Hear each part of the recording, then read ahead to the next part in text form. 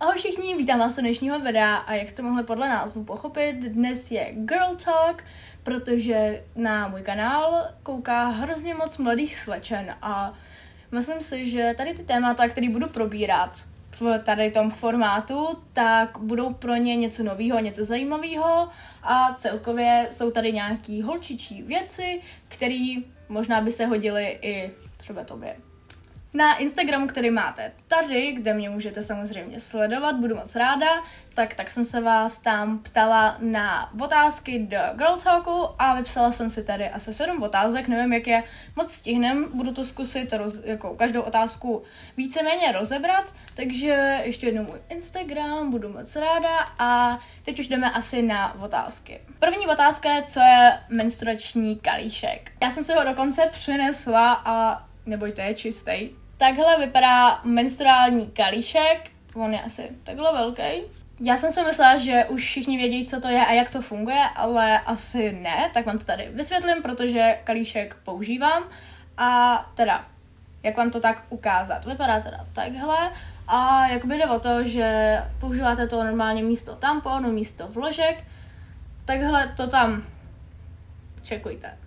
Takže předtím, než si tam dát kalíšek, tak musíte si ho dát buď takhle, nebo takhle, nebo myslím, že i SM nějak takhle. Mě teda jako nejvíce vyhovuje tady tohle.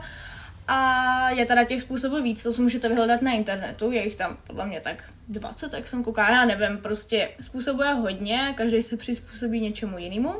A teda takhle ho tam dáte, protože on už je menší a otevře se vám a udělá vám vlastně, uf, jak se to jmenuje, udělá vám prostě vákum v té ve vás a pak po, můžete ho nosit až 12 hodin a pak ho prostě takhle vyndáte a vylijete. Easy. Jak kalíšek dezinfikovat? Před prvním použitím, jakoby při před menstruací, před každou, tak ho musíte uh, jakoby uvařit asi pět minut ve vroucí vodě. Buď ho vaříte normálně ve kastrolu nějakým, nebo já jsem to dělala tak, že jsem se dala normálně do sklenice horkou vodu a dala jsem to na pět minut do mikrovlnky, funguje to úplně stejně. Potom ho teda můžete používat a pak, když ho vyndáte, tak ho můžete normálně umýt mídlem a používat ho dál, ale já to teda nedělám, já vždycky jsem jako doma, díky bohu, takže se ho vždycky zase jakoby uh, uvařím a používám ho dál. Ještě chci tomu říct, že poprvé, když jsem si ho tam dávala, tak to bylo pro mě asi nejhorší, protože jakoby, jo, dala jsem ho teda takhle, v pohodě se mi takhle jako otevřel, ale cítila jsem ho, protože jsem ho měla prostě jako takhle. Já jsem se to tady i dokonce uřízla. Prostě jsem ho měla takhle, tak jsem ho cítila a prostě musíte se s tím jako poprat, to samé jako s tamponem, když se dáváte poprvé, musíte se s tím poprat a po pár, pár zkouškách, tak vám to určitě půjde. Ale je tady ale a to je vyndávání.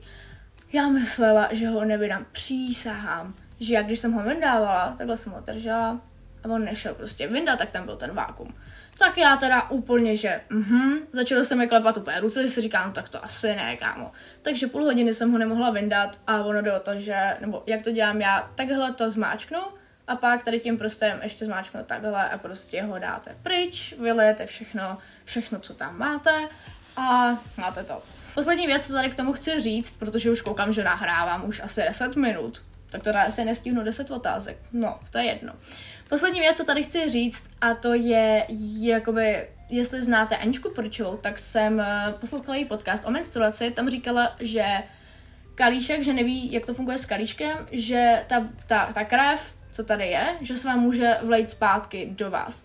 Což je úplná hloupost, ona to totiž nevěděla. Je to mýtus, není to pravda, uh, i když se hejbete, zpátky to nemůže, protože ono se to tak jakože otevře, ta krev jako jde dolů a pak se to zavře a prostě v žádném případě to nemůže jít nahoru, takže je to skvělá věc, úplně milu, když tak tady ten kalíšek mám z AliExpressu, když tak tady někde máte můj AliExpress haul, kde ho tam ukazuju, tak tam máte i odkaz na něj, takže se běžte určitě podívat. Skvělá věc, opravdu tady tenhle ten kalíšek stál do stovky, úplně skvělý, můžete to vyzkoušet a je to o hodně levnější, než každý měsíc si kupovat vložky a tampony. Když už jsme u menstruace, tak tady máme další otázku, co používám. Tampony, vložky, kalíšek nebo menstruační kalhotky. Menstruální. To jsem říkala v minulém videu úplně špatně, takže menstruální. Já používám nějak tak jakoby všechno, většinou používám kalíšek a tampony, vložky používám hodně, hodně, hodně málo kdy, jen tak jako občas. A používám i menstruační, menstruální kalhotky, který mám někde tam, který jsem se vydala z AliExpressu.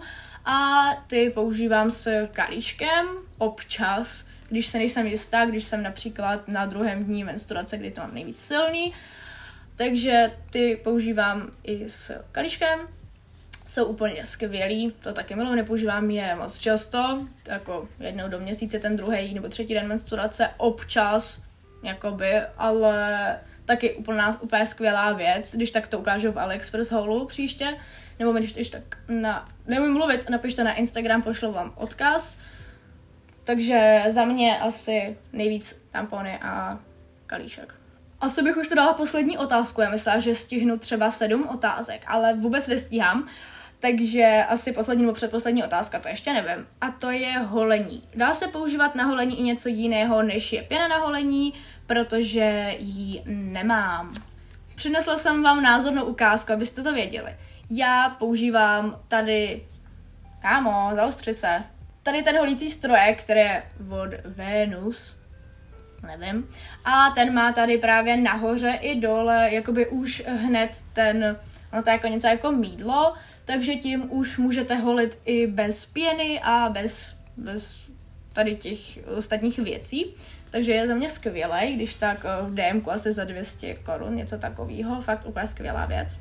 Ale máme tady mega lifehack, jakože úplně mega lifehack, který jsem četla někde na internetu. A to je, že místo pěny na holení byste neměli používat ani šampon, ani gel, ale balzám nebo masku na vlasy a reálně to funguje a často nemáte ani takový ty černé tečky, jak máte po holení, i když to bych mohla udělat video o tom s mýma levhekama třeba na holení, něco takového, protože těch levheků mám hrozně moc a fakt to všechno funguje. A zrovna pro holky, které mají takový ty pak černé tečky uh, po holení, tak uh, si myslím, že budou rádi, protože jsem jakoby ten samý typ holek, co je má taky. Takže když tak udělám video o tom, ale zpátky k tomu balzámu nebo té masce, můžete to používat, úplně skvěle to funguje a nepoužívejte prosím vás gel a hlavně nehelte se na sucho, to je, to, to prosím vás nedělejte. Ale když tak, tak ten balzám a maska jsou fakt skvělý a reálně jsem je třeba půl roku jsem používala balzám uh, místo pěny na holení a úplně skvělý, takže za mě mega, mega live, like live hacku. Já už jsem unavená, že vůbec nemůžu, nemůžu mluvit. Řekla jsem se, že stihneme i poslední otázku a to je, jak zhubnout podbříšek. Já kdybych to věděla, tak vám to tady řeknu. Reálně takhle holky, tak eh, je to normální ženský tělo. A mít pod, pod prostě ten podbříšek je úplně normální. A fakt je to prostě ženský, nemůžete být plochý, nebo se někdo, jo. no, ten podřížek je úplně normální, ale už tady jde o to, že ho můžete víceméně zhubnout. A tady hodím cviky nějaký, a tady taky hodím nějaký cviky, na to se podívejte, ale podbříšek je úplně normální, takže si nemyslím, že máte se čo nějak jako stydět. Ale taky teď začínám cvičit, protože už mám normálně pivní pupek, takže už jsem se rozhodla, že od včerejška jsem začala cvičit, takže když tak, tady na Instagramu máte moje cviky, které cvičím. Kdyby vám to pomohlo, takhle jsem zhubla hrozně moc těma cvikama a už to zase začínám uh, dělat ty cviky, protože už mám pevný popeček hezky, pěkně. Takže když tak, tady všechno, dole odkaz na Instagram.